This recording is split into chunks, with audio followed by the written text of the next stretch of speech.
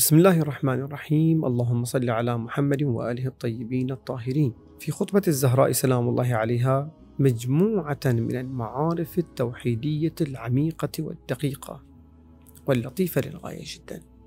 كيف لا؟ وهي أعرف الناس بالتوحيد بعد أبيها وبعلها سلام الله عليهم أجمعين.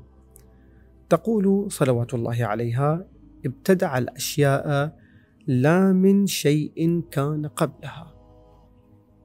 أحد الألغاز في معرفة خلق الله سبحانه وتعالى الأشياء كيف أن الله عز وجل خلق الأشياء لا من شيء؟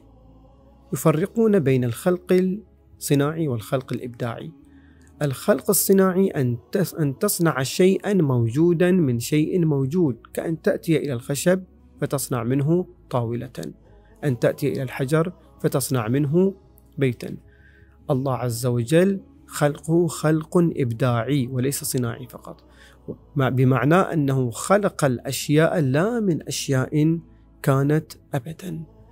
وهذه معرفة توحيدية تسجلها فاطمة عليها السلام في خطبتها. وصلى الله على محمد